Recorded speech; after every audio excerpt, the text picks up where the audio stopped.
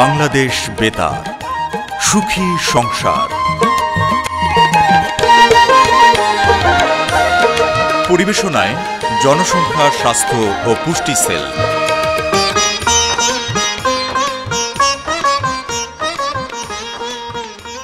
সুপ্রিয় শ্রোতা কেমন আছেন সবাই? আশা করি ভালো আছেন, সুস্থ আছেন। পরিবারে প্রত্যেকে প্রত্যেকের খেয়াল রাখছেন। একটি সুখী পরিবার গড়তে সকল সদস্যেরই কিন্তু সজাগ দৃষ্টি থাকতে হবে। পরিবারে যারা বয়সন্ধিকাল পার করছে, তাদের চাওয়া পাওয়ার প্রতি যেমন খেয়াল রাখতে হবে, তেমনি এই সময়ে ভুল কোনো কাজে জড়িয়ে যাচ্ছে কিনা সেদিকে নজর রাখতে হবে। বিশেষ করে অপরিণত বয়সে বিয়ের সিদ্ধান্ত যেন না নিতে পারে সেই বিষয়টি বন্ধুর মতো বোঝানোর দায়িত্ব কিন্তু বয়োজ্যেষ্ঠদেরই। অনেক সময় বয়োজ্যেষ্ঠরাও অপরিণত বয়সীদের বিয়ে দেওয়া এবং সন্তান ধারণের জন্য উৎসাহী হয়ে ওঠেন, যার পরিণতি সুখকর তো নয়ই, বরং সারা জীবনে সঙ্গী হয় অশান্তি। আমরা কেউই কিন্তু অশান্তি চাই না, সবাই শান্তি চায় সুখ চাই। সুখময় জীবন করতে সকলেই বুদ্ধি বিবেচনা করে পথ চলব, সঠিক সিদ্ধান্ত নেব, এমনই প্রত্যাশা আমন্ত্রণ জনসংখ্যার স্বাস্থ্য ও পুষ্টি সেল পরিবেশিত সুখী সংসার অনুষ্ঠানে। সুপ্রিয় শ্রোতা বন্ধুরা, জানেন তো কি রয়েছে আজকের মূল আয়োজনে? হ্যাঁ বন্ধুরা, ধারাবাহিক নাটক নিহার বানু।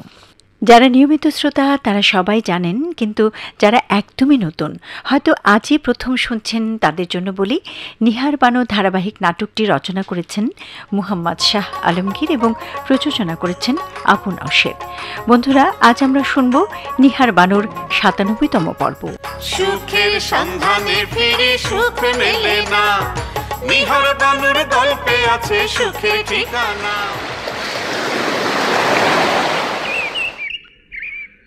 হ্যালো? হ্যালো নানা? হ্যাঁ বলো। হ্যালো নানা ভাই বলো বলো। সুখবর আছে নানা? সুখবর? সুখবর তো এখন একটাই। তোমাদের ঘরে নতুন অতিথি আসতে চলেছে। এই ছাড়া আর কি সুখবর? আরও সুখবর আছে নানা। আপনার মোবাইল ফোনটি পাওয়া গেছে? কি? আমার মোবাইল ফোন পাওয়া গেছে? কেমনে সম্ভব? হ্যাঁ নানা। আরও বড় খবর হলো হ্যাঁ। আপনাকে অজ্ঞান করে যে আপনার ঘড়ি মানিব্যাগ মোবাইল নিয়ে গিয়েছিল সে এবং তার দলও ধরা পড়েছে। বলো কি বক্তিয়ার? হ্যাঁ নানা পুলিশ অভিযান চালিয়ে তাদেরকে ধরেছে। আচ্ছা। না না। আপনি সেই লোকটিকে দেখলে চিনতে পারবেন না। অবশ্যই চিনতে পারব।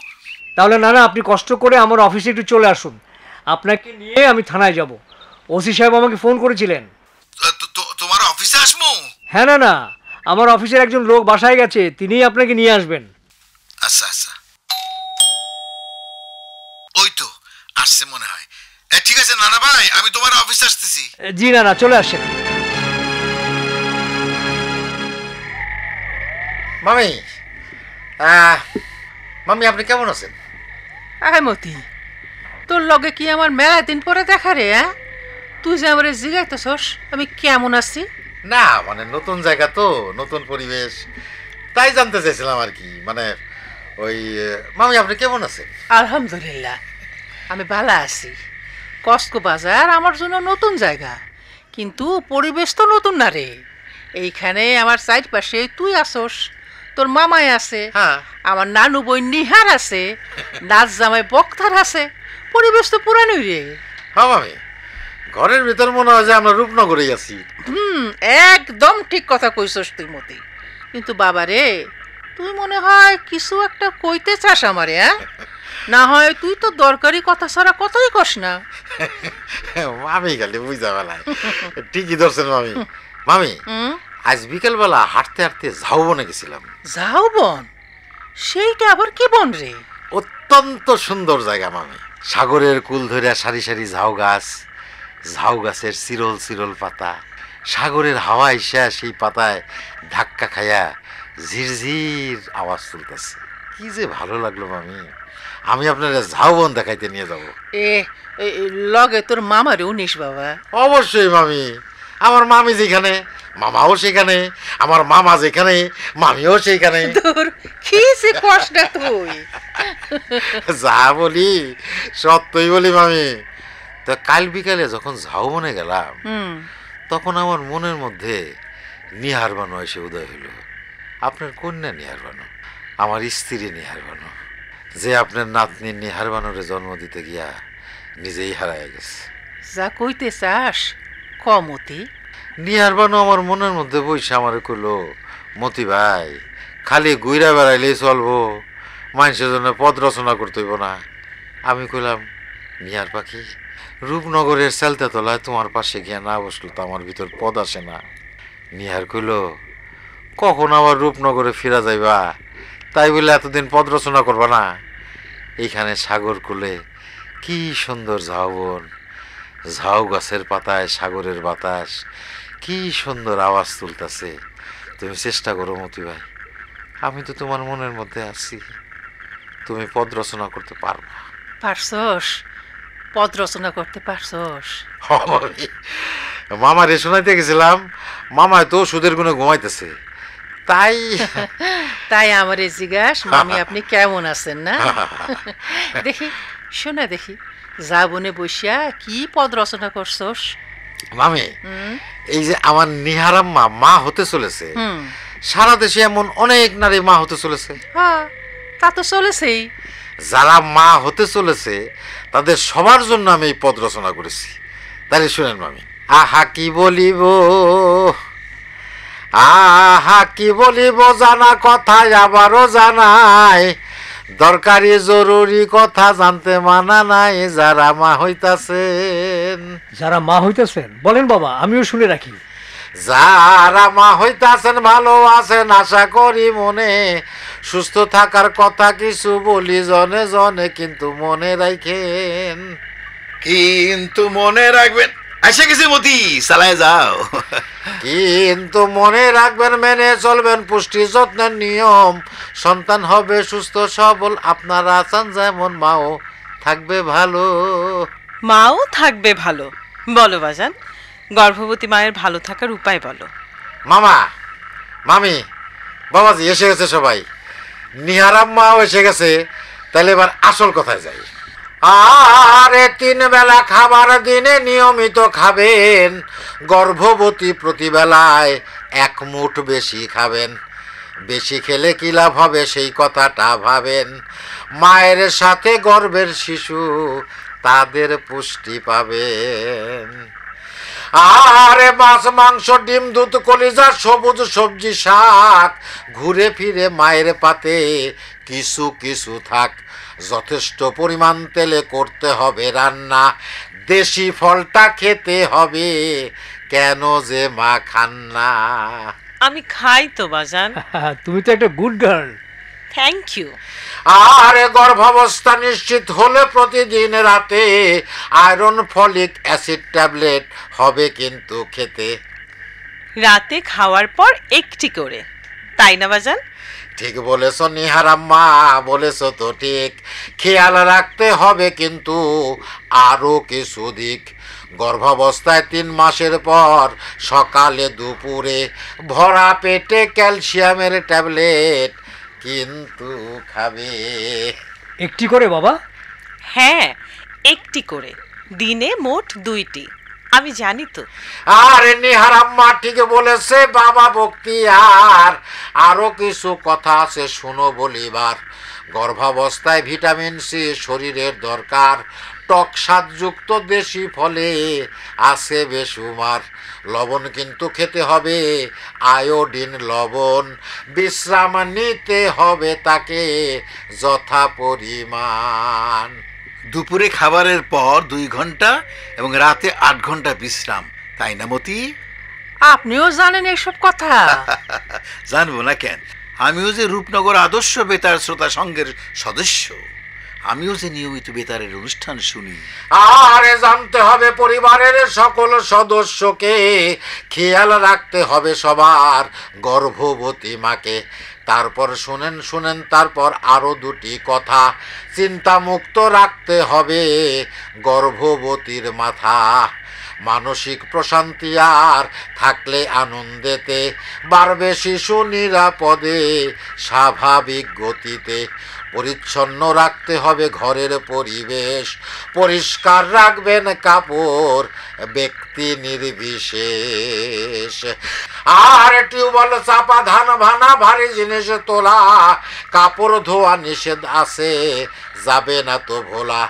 এই প্রকারে গর্ভবতীর যত্ন এবং পুষ্টি নিলে পরে সংসারেতে আসবে খুশি তুষ্টি। এই প্রকারে গর্ভবতীর যত্ন এবং পুষ্টি নিলে পরে সংসারেতে আসবে খুশি তুষ্টি।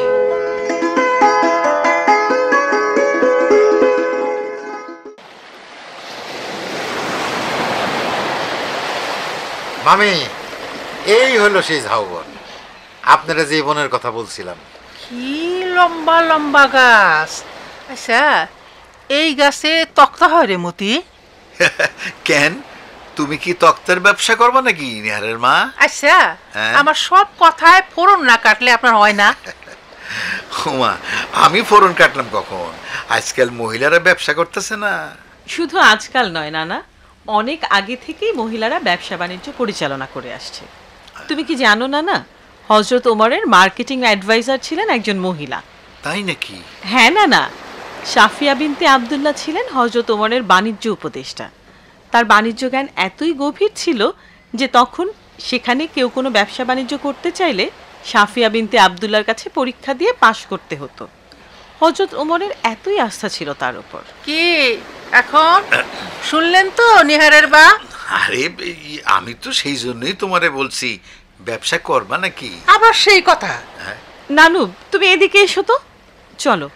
আমরা ওদিকটাই ঘুরে আসি। হবই চ। তো নানায় খালি পায়ে পাড়া দিয়ে আমার লগে লাগতে আহে। মতি জি মামা কক্সবাজারে আমরা তো বেড়াইতে আইছি নাকি? জি মামা তা কারও বাসায় কতদিন বেড়ানো যায়? তা ধরেন একদিন দুই দিন বড় জোর তিন দিন। হ্যাঁ, এইবার তো আমাকে বাড়ি ফেরা লাগে নাকি? বেড়াইতে ভালো লাগে তাতে কোনো সন্দেহ নাই। বাজার সদায় ঝামেলা নাই রান্না বাড়ার কষ্ট নাই সংসারের চিন্তা নাই। কিন্তু আমার তো ব্যবসা বাণিজ্য আছে। আমারও তো মামা টুকটাক কৃষি কাজ আছে। ফলের বাগানে যত্ন করা লাগে। এইবার যে তাহলে বাড়ি ফিরতে হয় মতি। অবশ্যই মামা। মামা হ্যাঁ।